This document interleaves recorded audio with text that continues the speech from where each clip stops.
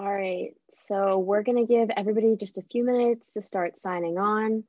Um, so welcome to everybody who's joining us today. We're all super excited to have you here.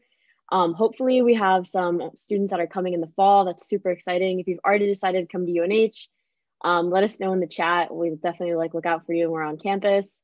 Um, also, if you have any questions at all during the whole our whole chat today, that's to be our biggest takeaway. Um, if it's about something we're talking about, or if it's just about dorms, food, whatever it is, um, you have three students on the line and an alumni, and who's also a staff member here at UNH. So, ton of awesome perspectives. So, feel free, ask us anything you want to. But today, our main goal is to talk about how to stay active in college.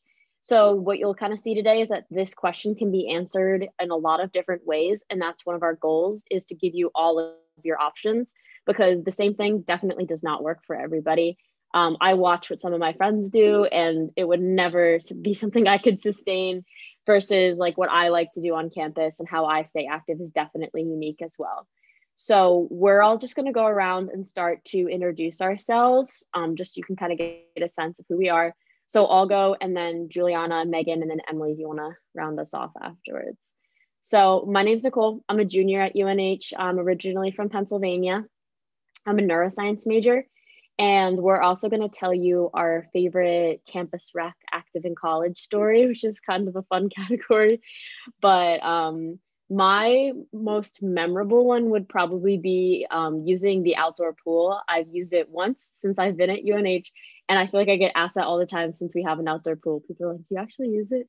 And like my first weekend on campus freshman year, um, me and a bunch of like my new friends, we went and it was packed. So we were just kind of like standing in the pool, but it was so hot. So it was really fun. But yeah, that was everyone's always like, you, you actually use that? I'm like, yep, I have one time. but Juliana, do you want to go next? Yeah, hi. I'm Juliana Maston. I'm a sophomore neuroscience and behavior major, um, and I'm from Schenectady, New York. Um, and my favorite campus rec story uh, would probably be the first time uh, that my friends and I went to a Zumba class together. Uh, we all got on the bus and um, we all like were super nervous because we had never gone to a group X class together um, or at all. And we got there and we were just like standing by ourselves. And then Caroline, who's the group X instructor, uh, was so nice and welcoming. And we all just like got up and danced and had a great time. And we went every week after after that. So it's probably my favorite. Hi, I'm Megan. I'm a junior. I'm a psychology and justice studies dual major. Um, my favorite memory would be um, last semester I played kickball and my team, we only had one game because we lost by a lot, but it was still so much fun. It was the most fun intramural sports game I've ever played. Um, but we did lose by a lot, but it was really fun. Awesome. Hey everyone, my name is Emily Goupel. My pronouns are she, her, hers, and I am currently the coordinator of youth and instructional programs in campus recreation. So, what that means is I actually get to do a bunch of different programming for the kids that live in the Durham and kind of Seacoast community. So, if you're ever in the Hamel Rec Center and you see a bunch of little uh, like five to 11 year olds running around. It's usually me running after them chasing them or uh, you know playing dodgeball with them on the court. So that's a little bit about uh, what i do there. But i am also an alum. I graduated in 2011 my bachelor's is in recreation management and policy with minors in psychology and youth development. Um, and let's see my favorite campus rec uh, kind of memory I'll, I'll, go back to when i was an undergrad um, and i think it was joining the club softball team for me. I was someone who was like super involved and always played a team sport growing up. And I think that was one of my biggest fears um, coming to college was that I wasn't going to have that like routine of practice. I wasn't going to have my friend group of my teams. Um, and I'm also super competitive. So I was like, oh, where am I going to like still get that kind of fill there? And I found the club softball team, which provided me all of that and more right from the get go. So I felt like I never missed a beat. And they're still some of my greatest friends to this day. That's a little about me. Awesome. So uh, I think we're each going to just highlight a topic before we get some questions, maybe can like change our direction a little bit. But first, I wanted to talk a little bit about intramural sports. I know that it's already been mentioned in a couple of our memories, but intramural sports are a really great opportunity to get active on campus because it's just UNH students against UNH students. So we have all kinds of sports from soccer, basketball, volleyball to kickball, inner tube water polo, cornhole. some of like the more like unpo- not unpopular but untraditional maybe sports to play, but definitely still super fun. And like I said, it's just you against other students on campus. So you can have a team full of soccer players that have played their whole life and they're really excited to get out on the field. Or you can have, like Megan was saying, her friends that played kickball that also nobody's like insanely good at kickball because it's like not a real sport, but also like maybe you have people that have like never really played a sport, they're just having fun, totally fine. Or um, broomball is actually the most popular intramural sport. You just go out on our ice rink in sneakers with like kind of a broom looking hockey stick and that's always really fun because nobody's good at broomball there's no way you can be that good at it so that's a really fun opportunity as well um, i know a lot of dorms will put teams together i actually used to ref intramural soccer so i got to kind of like watch the teams come in and sometimes it would be like williamson like floor two and it was like just this whole where their ra was like who wants to play soccer a couple times a week so that's like a really fun way to get out of your dorm you can also just like join a random team. So if you really want to play, but you don't have like 10 people to sign up with, you can sign up and they'll just place you on a team or they'll make a team of full of people who like didn't have their own team to go. So you can really do it any way you want to do it. And there's so many different options at all times of the year too. So if you don't want to be outside in the cold, maybe in the winter, we have like indoor soccer and then it gets nice out and you want to move back out. All different kinds of things for you to do. So that's probably one of my favorite opportunities um, I actually played in a soccer game the other night, and I'm not good at soccer, but it was still so much fun. We lost Megan by like so much, but it was still really really fun. Um, but then Megan, do you want to talk about club sports? That's kind of like a nice step up. Yeah, of course. So um, I'm on the club hockey team here at UNH, um, and Nicole's on the club lacrosse team. But um, the club sports that we have are more they're where like UNH, everyone on my team is from UNH and will play other um, colleges. So, like for example, we my hockey team will play like UVM, Northeastern, which is in Boston, BU, BC, those kind of club teams. I played hockey like all my life. So, kind of like Emily was saying in her introduction, um, I was really looking for something to make friends through and just like stay active with. So, um, it was a really aw- awesome opportunity for me. Um, I got to practice twice a week, which wasn't a ton. So, in high school, I was used to every day, and then went to twice a week. And then we had games pretty much once a week. So, and those were on the weekend. So it was a good mix of not taking up my entire schedule, but had like enough time to get on the ice, stay active, and still enjoy it. Um, and also, I met a lot of great people through that. So, a lot of my hockey friends now, like, we still stay in touch all the time even through COVID and all of that. So that's really nice to have just friendly faces all over campus. So um, I highly suggest if you're looking for something to do and you love a sport that we offer in a club, I highly suggest doing it. I'm really glad that I did it.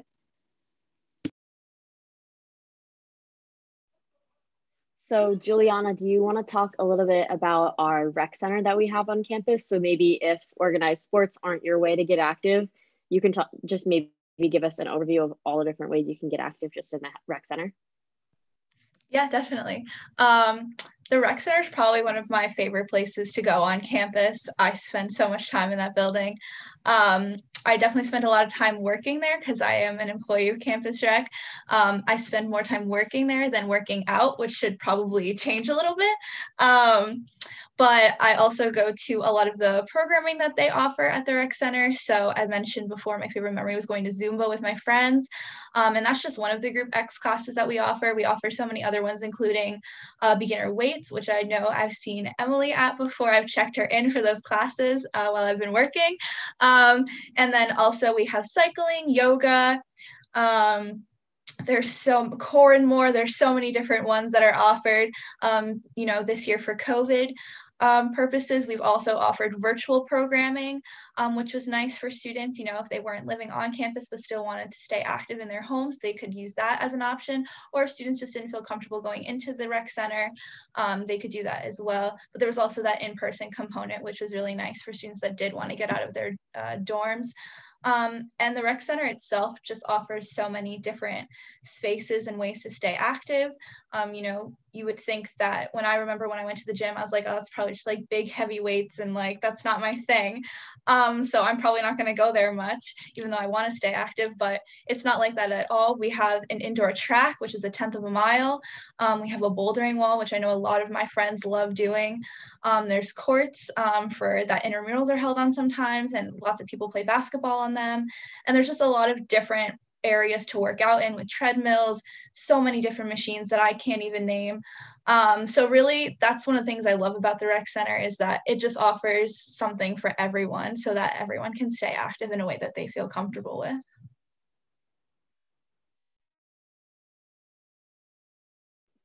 So, as kind of an extension of our rec center, they also have an awesome outdoor adventures program. So, Emily, do you want to maybe introduce us to some of the opportunities there?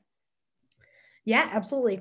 Um, so we do also have an outdoor adventures program. So say out being outdoors and going hiking up in the whites or even just exploring college woods, which is right here on our campus is your thing. We have opportunities for that. So if you are someone who has never camped before and you want to start camping, we have a bunch of 101 series. Those things will teach you how to, you know, set up a tent, what gear you might need, how to make sure the the hiking trails are that you're doing maybe while you're camping are appropriate and safe for you and, and what kind of gear do you need? Now, if you're sitting there being like, well, I don't have that gear. Good news. In the same exact place, you actually can rent out a wide variety of gear, whether that's like micro spikes, snowshoes. Um, I think we even have like SUPs, stand up paddle boards. We have like wetsuits. We have boots. We have the camping stove. We have the tents, the whole shebang. Pretty much, if you need it to go be in the outdoors, um, we have it for you. And all of that is either kind of free or there might be some minimal charges. We try to keep it really cost friendly, you know, because, well, hey, we get it, right? And we just want you to be able to go outside and do that. They also schedule some um, trips. So sometimes travel is actually like included. You hop in there, there's a trip leader who will kind of make sure that you're all good to go. You can go stay up in a yurt up in the White Mountains um, and pieces like that. So outdoor adventures is a really super fun way to kind of explore the outdoors, explore New Hampshire and some of the more local communities um, and kind of get everything you need. Now, also I want I want to highlight a really important piece is we actually have a really cool organization on campus called Northeast Passage, um, which focuses on adaptive recreation. Um, and so that might mean if you utilize different pieces of equipment, say you utilize a wheelchair um, or you know a walker or something like that, and maybe we need some adaptive pieces of equipment, we want to make sure you can still go on those trips and enjoy yourself So we have a really great relationship with Northeast Passage, which provides all these kind of varying pieces of equipment to make sure that you're able to kind of um, enjoy that trip as well, um, regardless of any abilities. Um, so that's really important. Um, I think there's only there's one other thing that I'd love to highlight from from Campus Rec too. Um, we mentioned aquatics there's an indoor there's an outdoor pool but we also have some different like certifications that campus rec can also help you obtain. So if you're someone who needs cpr first aid say for a summer job or you just want to have that we offer cert- certificates like that. Um, we have an awesome demonstration kitchen. Maybe you want to learn how to cook. You can actually you and a bunch of friends rent out the kitchen and we'll provide kind of an instructor in there for you to teach you how to make a meal and get comfortable in the kitchen. Uh, we have level one archery so if you want to kind of know how to instruct instruct archery. You can get that certification, become a lifeguard, um, become a personal trainer. Uh, we have all of those kind of certificates and programs, and you can definitely reach out to the welcome desk. They'll get you more info on that. But there's some really cool professional development opportunities for you um, if you're looking to get involved in that way. Yeah, I think I like a good extension from that too. And I think a question that a lot of students, rightfully so, have have worries about when they're going to college is am I going to get a job when I'm in, in college? Am I going to be able to make money? Um, and I think that first of all, is like schedule dependent personally. Um, it's like how you're comfortable.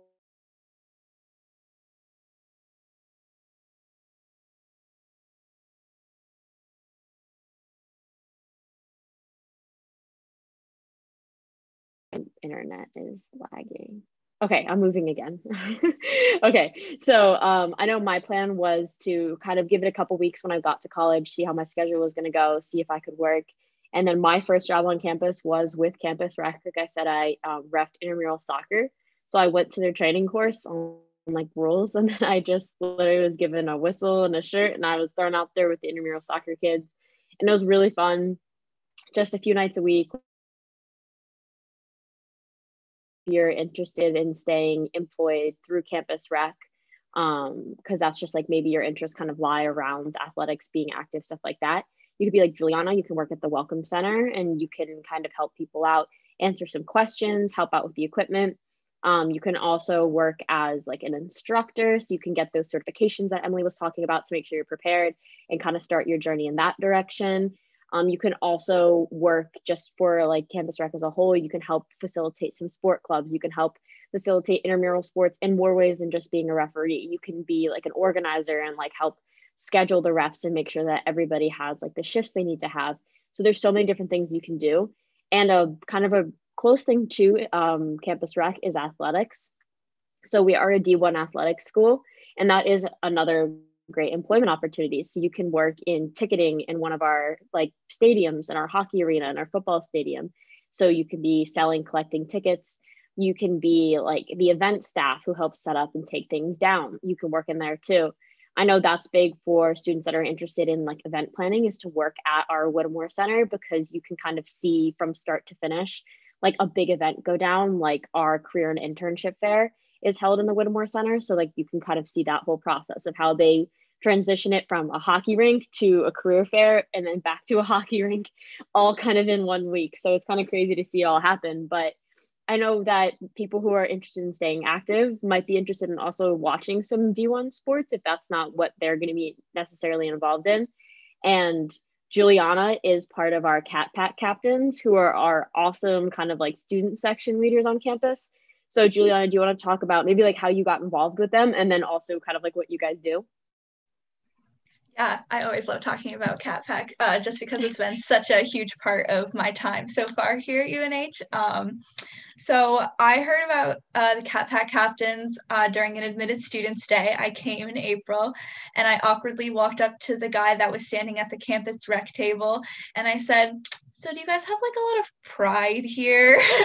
um, and he was like, Yeah, we actually have a whole org based on that, um, and told me that they were called the Cat Pack Captains. And I said, Okay, well, if I come here, I'm going to join that org. And um, that's what I did the second week of uh, school. I um, met them at uh, U Day and I signed up for their email list. And for context, U Day um, is this awesome event that we hold, and all of the orgs um, and you know different programs sororities and fraternities they all put tables out on um, T Hall lawn and you can just walk around and get information to see what you might be interested in. So I got on the email list and I went to a meeting um, and it was super fun. They've become like my little family, honestly. Um, we're all super close. We get food together. Um, but our big thing that we do is we go to almost all the sporting events that we can make it to. Um, my so last year as a freshman and my first semester uh, fall, I went to 64 sporting events in total.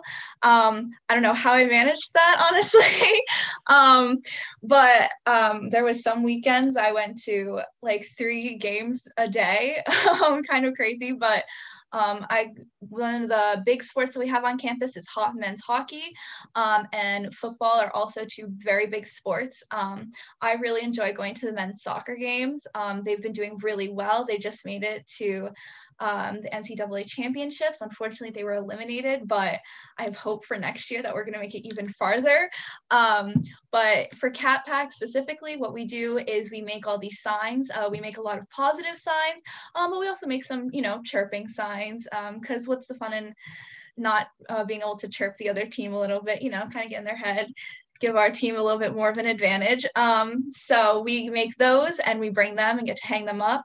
Um, and then we also put face paint on and um, the president of Cat Pack, he has a cowbell and we, like Nicole said, we lead the student section in cheers. Um, we have this thing called the cheer Bible. It's a very long Word document that has all of the cheers that um, I think have ever been done at UNH. Um, and we kind of just go through that and we do the cheers that we like. And we have different traditions within Cat Pack. We bring the I Believe in UNH banner um, that we roll out during some games. Um, so little things like that. Um, you know, just try to bring some pride um, to a lot of the games and, you know, get students up and ready and uh, cheering for those teams because, I mean, I hope that it helps the teams out. Um, I like to think that it does and that they enjoy it. Um, I know I have a great time, so hopefully they also get a kick out of us kind of losing our minds. I, I leave a lot of games with no voice left for the next day, so I'm screaming so much. But um, yeah, so that's something that has been a really uh, great experience that I've been able to be involved in.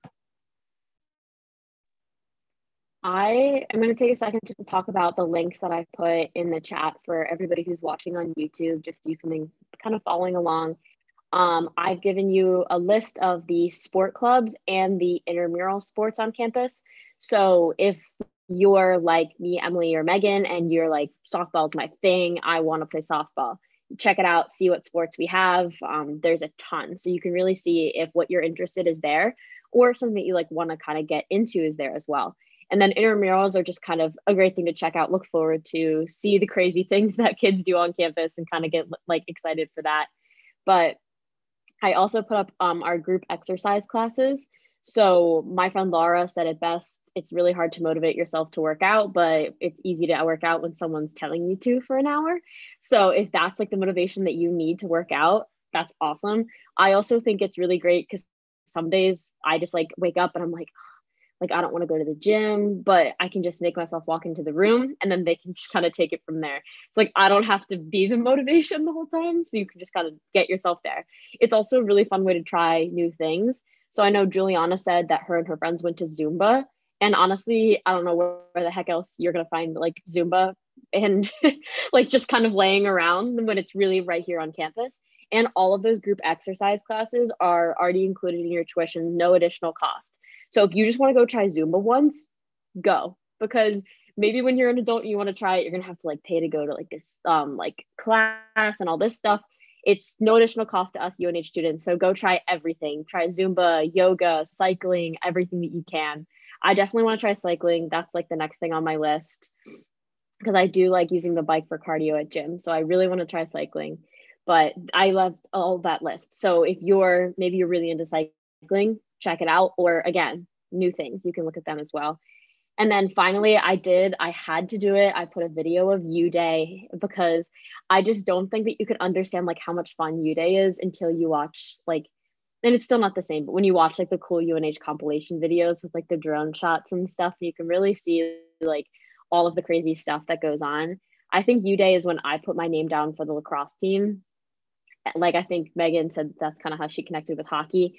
Um, so it's definitely a huge outlet. I know a ton of people became tour guides that way. So that's also a huge thing on campus here. But um, we have about like seven minutes left. So I'm going to encourage any questions to be in the chat. But um, Megan, I don't know if you wanted to talk about maybe like some of your experience with like dining on campus, because that is a big part of staying active, staying healthy is what you eat as well. So do you want to maybe talk to us a little bit about that? Yeah, of course. So um, I consider myself a very picky eater. So coming to UNH, that was one of my like biggest concerns. Um, but I always like to say when I'm on tours and everything that I have never gone to the dining hall and not found something to eat. So um, my personal favorites were last year at one of our dining halls um, called Philly. There's an all day breakfast bar. So if worse came to worse, I could always get a chocolate chip pancake or an egg sandwich or something like that, which was awesome. And um, there's also always cereal, so that those were like my go-to if there was nothing else. But um, there was not very many times that I had to get one of those things. So although I'm a picky eater, there's always like those staples of pizza and pasta and the um, cereal, and there's bagels all day and all that stuff. So all of those are always like we're always there for backup for me, which was awesome. Um, and it was really comforting to know that like I was always going to be able to find something that I wanted, even though I am a really picky eater. Um, but yeah, my favorite thing at the dining hall was um, the mac and cheese bars. So those were on Wednesdays at HoCo last year. So those were my favorite things to go to. I'll have to say as well, like the mac and cheese, which I love the mac and cheese bar, but the mac and cheese that they have just like on the normal line that has like the breadcrumbs on top is so good. Um, and although that isn't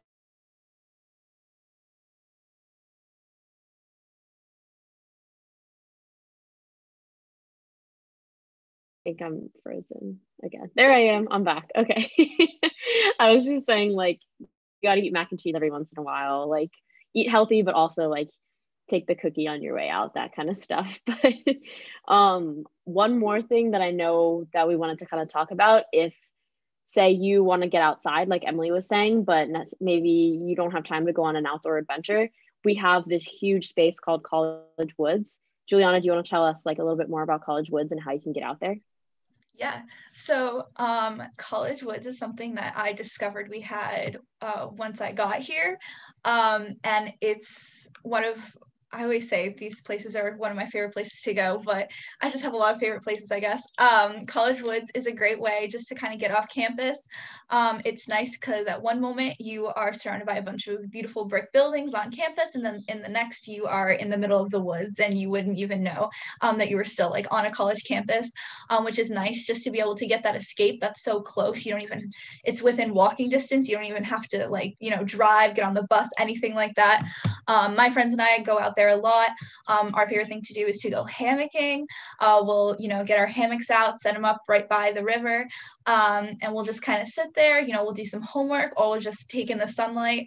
Um, and it's super beautiful in the fall too. I like to go out and take a lot of pictures um, or just walk on the hiking trails just to get outside um, and go for a walk that's not, you know, across the street or something like that.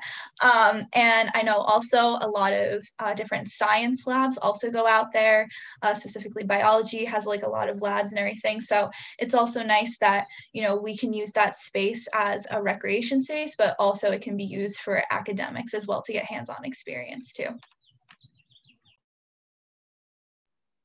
Yeah, College Woods is 250 acres. And I think that's so hard to understand. And I think like, oh, I've been like around College Woods. But when I think about how big 250 acres is, I've definitely not even like touched most of it. And like Juliana was saying, um, I've for two of my classes, we've had labs where we went into College Woods. So my most recent one, we like put uh, wildlife cameras in different spots, and then we're like writing about like where we thought they would be based on like canopy cover, tree density, stuff like that. So instead of learning about it, we got to actually do it. Um, my freshman year and in our ecology class, we actually designed our own experiment and then went into College Woods and did it. So it is they call it like the living classroom. So if that's if you're interested in a major where you think that that's going to be something you're interested in, like throughout college, is getting outside and doing data collection that way, then it's great to have that huge 250 acre resource of just data collection possibilities. But with that, and I don't think we have any last minute questions, I want to say thank you so much to everybody who's watching this today. And this is going to be up on our YouTube page. So anybody who's watching it in the future, maybe you're in the fall and you're already a UNH student, you're watching this now. Um, feel free to watch any of our other videos on our YouTube channel. We have Q and A's. We do one a week all semester. So we've had all different um, types of people on here from all around campus. And then also you can look at the admissions Instagram. We've done a ton of tours. I know Juliana has done one on there. So you can see us give a campus tour. So if you haven't gotten to take one yet and you're coming to UNH in the fall, or if you're a junior, sophomore, and you want to kind of get a look, feel free to check those out um, and reach out to your admissions counselors. If you have any questions, they'll definitely be able to help you out. But I hope we were to give you some information. Thank you guys so much for coming today. And we hope that you have a great rest of your day.